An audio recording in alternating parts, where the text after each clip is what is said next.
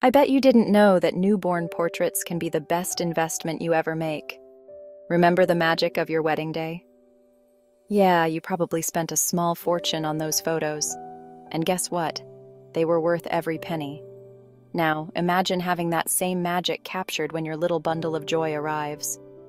In a few years, when you show your baby these images, they'll feel the love and excitement you had right when they were born. Trust me, those tiny fingers, that adorable button nose, memories fade, but photos, they last forever. Here's the kicker you think you'll remember all the little things, but life gets busy, and those precious details can slip away. Don't let that happen. Newborn photos are best taken when your baby is under 14 days old, so plan ahead.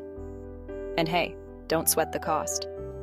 We've made it easy with our gift registry, so your friends and family can chip in toward your newborn session.